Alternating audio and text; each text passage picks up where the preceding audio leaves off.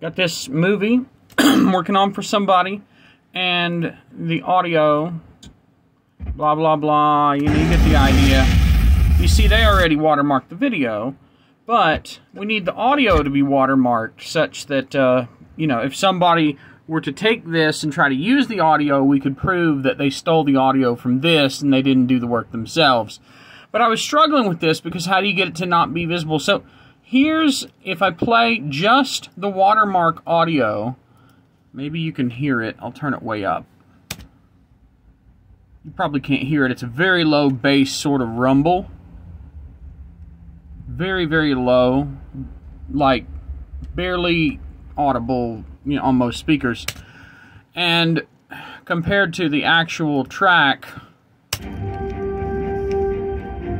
so I took this, rendered it out, opened it up in uh, Adobe Audition here, and if you just play it, I mean, if I mean if you play it down here, you, you can hear it's it's the same thing, blah blah blah, you know, Mufasa, whatever. But here's the beauty of it, okay? So I take this and um, I perform a stretch and pitch. And what I'm doing specifically is, you see that resample to 12.5%, which makes it basically 8x speed. I'm going to hit apply. All right, now listen. You can't hear anything, right? But here's the beauty of it. So if I do it again, another one, right?